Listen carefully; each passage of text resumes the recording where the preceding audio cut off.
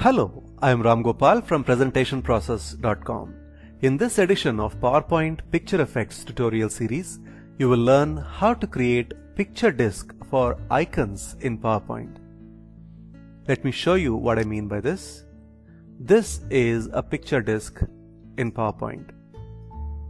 Let us say you want to create your own custom icons where you want to add a photo on top of this, maybe the photo of a particular machinery or the photo of a particular place. You can have this uh, picture disk as a very handy icon which is completely custom made. So let us see how to create this beautiful picture disk in PowerPoint from scratch. Let us go to a new slide.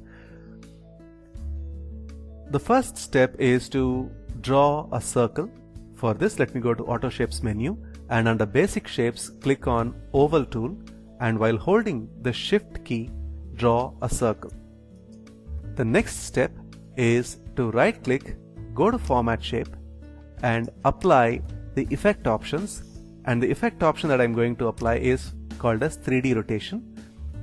The 3D rotation preset I'm going to use is under perspective and it is called as perspective relaxed. So click on it and there you have the perspective relaxed effect applied to this circle that we have just created. The next step is to go to 3D format and apply a bevel. So the top bevel that we're going to use is called as slope. So click on that one. This looks attractive by itself. Maybe we can make it even more attractive by increasing the width and height of this top bevel. So instead of 6 points, let me make it into 10 and 10 for width and height. So that is more like the way I want it. The next thing is to increase the depth. So I'm going to add 20 points or say 25 points for depth. I don't really like this default blue color. So for shape outline, I'm going to use a tan color so that it looks more attractive. Now I'm going to change the material from this uh, warm matte to special effect called as dark edge. Now you can see some nice sheen. Let me add some shadow to make this 3D object grounded because if you don't add a shadow, usually any 3D object would look like it's dangling in air. So let's go to the preset of shadow. The, the preset that I'm going to use is under outer. It is called as offset center. Let me increase the size of the shadow from 102% to, yeah, this looks good enough. So 108% looks attractive. Now all that is left for me to do is to fill this beautiful circular disc with the picture of my choice. So let me go to the fill option and the fill that I'm going to use is not the solid fill but a picture fill. Now this picture is already there in the clipboard and that is the reason why uh, you're able to do it. Otherwise, you can always go to file option and choose the picture that you want to use uh, as icon and press insert and that picture gets filled. And that is it. Your picture disk in PowerPoint is created which is nice and shiny as you can see here. You can always increase the size or reduce to suit your specific requirement. Okay, now let me make it into medium and this is uh, the final effect. Knowing how to work with pictures and combining it with the power of custom animation can make your business lives go to a whole new level. Let me show you some example templates taken from our custom animation templates pack and you can see how we have used the picture effects with custom animation. The first example template is this one which talks about keyword and definition. So this is the picture and you have the keyword here and see how the description text is moving slightly to draw the viewer's attention to the text there.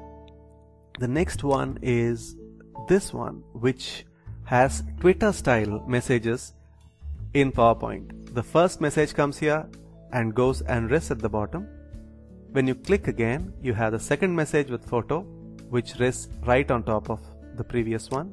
And the third one and the fourth one. So this is a very interesting way if you are making a presentation about social media this is a very interesting way to present your points instead of the usual bullet points. Let me show you another example template. This one talks about four points that come one after another.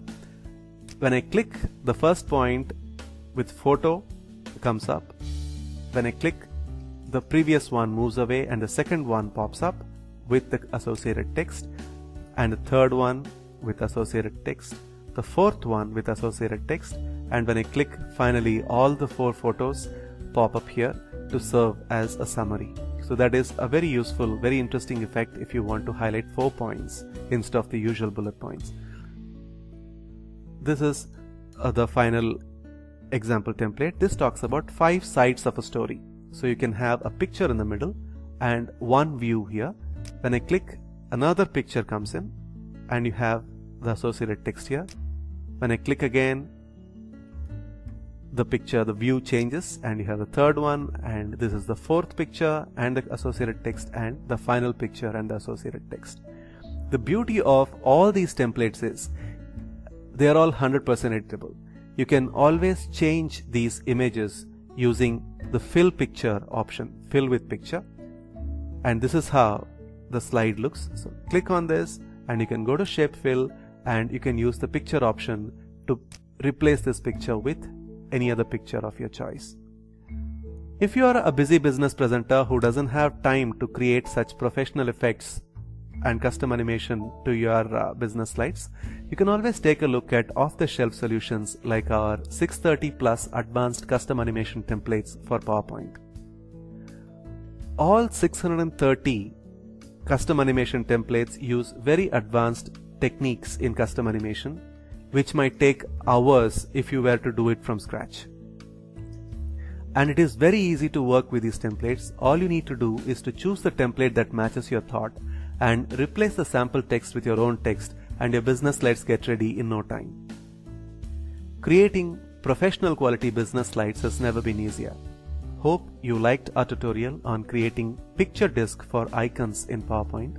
If you want to learn more such tutorials, please visit us at presentationprocess.com. You can watch a lot of videos, you can read articles about presentation skills and PowerPoint skills, and it is a very useful site to bookmark.